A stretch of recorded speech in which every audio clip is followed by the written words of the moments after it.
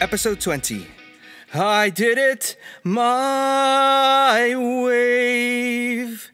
Originally posted November 15, 2012. If you ask anyone who watched the original G1 Transformers cartoon who was one of the most memorable and unique characters in the series, I'm pretty sure Soundwave's name would come up quite a lot. Yup, the Decepticons' original communications officer had a lot going for him. He had that cool, monotonous effects rich processed voice. He was bigger than your typical Autobots, and as seen in the first episode, beat up multiple bots at the same time. And of course, he had his little private army residing in his chest. Unfortunately, for all the pluses Soundwave had going for himself, he did have one major drawback. Hey, we can't all be perfect. While his fellow Transformers turned into jets, cars, and weapons of destruction, he turned into a Walkman. If you handed any kid today a Walkman, they would probably look at you with a puzzled look on their face and ask you what they were holding, or at least ask where the touchscreen was.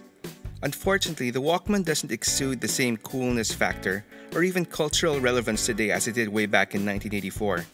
And the same goes for his buddies, Laserbeak, Ravage, Rumble, Frenzy, and company, who transformed into cassettes. Yup, back then, a robot that transformed into cassette player with minions that transformed into cassettes was a cool idea. Today, it's pretty much all irrelevant.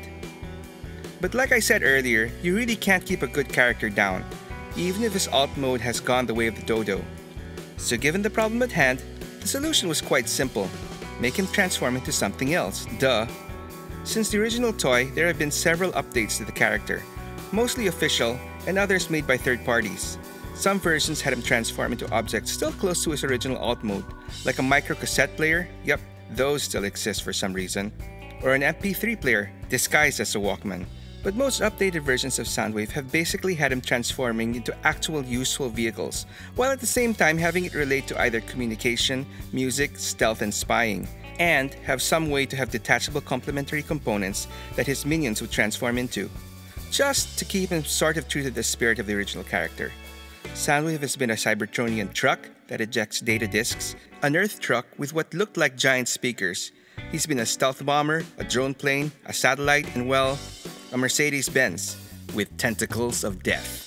Of all the different updated and modern versions of Soundwave, I do have my favorites, and so I'd like to tell you about them. First up is Soundwave from the series Transformers Prime. I admit initially I wasn't so blown away by this design. This slender and lean version was quite a departure from the original blocky design from G1, but it was how this character was depicted on the show that ultimately won me over. He is this embodiment of creepiness, sulking in the shadows, recording bits of conversation for blackmail to use to his advantage in the future.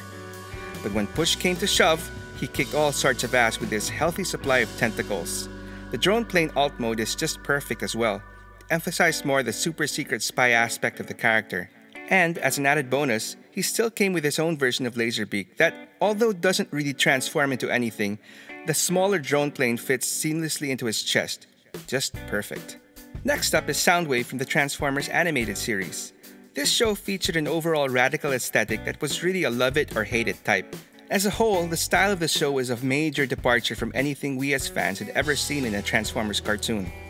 I, for one, loved it, and a big reason why is because, unlike most Transformer cartoons, Hasbro Takara Tomy did an amazing job of actually translating all these hyper stylized designs into fairly accurate toys. Of course, it helped immensely that the show is probably one of the best written Transformers series to date. In my opinion, of course. Anyway, in the series, Soundwave was more of a reoccurring character rather than one of the main Decepticons. But he had quite an original and interesting origin. The details are a bit fuzzy, it's been quite some time since I've actually seen it, but I do remember him actually starting out as a musical kids toy that somehow got corrupted, turned evil, replicated, and combined to form a big Soundwave. Essentially, he was Chucky for the Transformers world.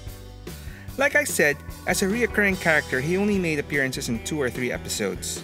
As a Transformer, he didn't really transform into anything exciting. A nondescript van with one can imagine huge speakers in the back or something. But what really pushed his design over the top for me was his pal Laserbeak.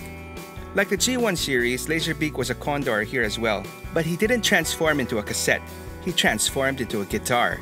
And not just any guitar, an electric guitar of doom. That's right, this Soundwave wasn't satisfied with just terrifying little kids. He wanted to rock on. And blast all the Autobot audio receptors with his death metal music of death. And it gets even better.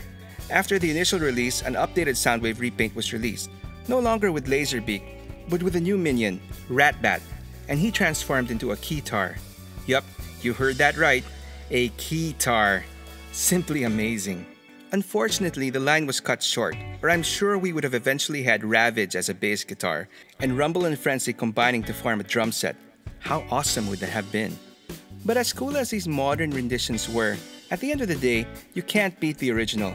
So after a number of numerous updated Soundwaves through the years, Hasbro finally gave us a back to basics one in 2020 with their Earthrise Soundwave that transformed into, you guessed it, a Walkman. And finally, on the masterpiece and third party front, Soundwave has quite an interesting story, starting way back in 2006, during the baby years of third party Transformers. A brand new company called Fans Toys announced their first ever attempt at a masterpiece style Transformer with a series of prototype pictures posted online.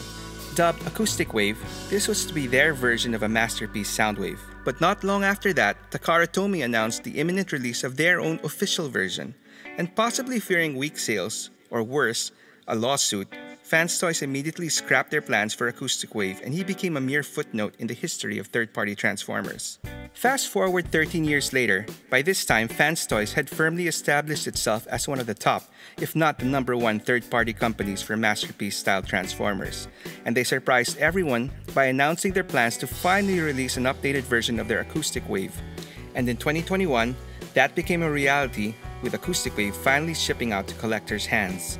Curiously, the toy was released under a new company, Robot Paradise, but the new name, possibly meant to protect the main Fans Toys brand safe from Takara Hasbro, didn't fool anyone. This is a Fans Toys release through and through. As opposed to the original 2006 design, this final release went with a cleaner and more streamlined cartoon accurate aesthetic, but Fans Toys thoughtfully included a number of swappable parts for those who prefer the more detailed toy look. And while some might argue that the transformation isn't as smooth as the official one, it's still not terrible, and I do think it's perfectly fine. I mean, you're basically folding up a robot into a rectangular box. How can you over engineer that? Now, the official MP Soundwave is still to this day considered as one of the best released by Hasbro Takara. But it's been over a decade old, and standing next to Acoustic Wave, I think his age really starts to show. Ultimately, judging by the overall look to the build and materials used, for me, Acoustic Wave is clearly the superior Soundwave. And that should cover it for the Soundwaves in my collection.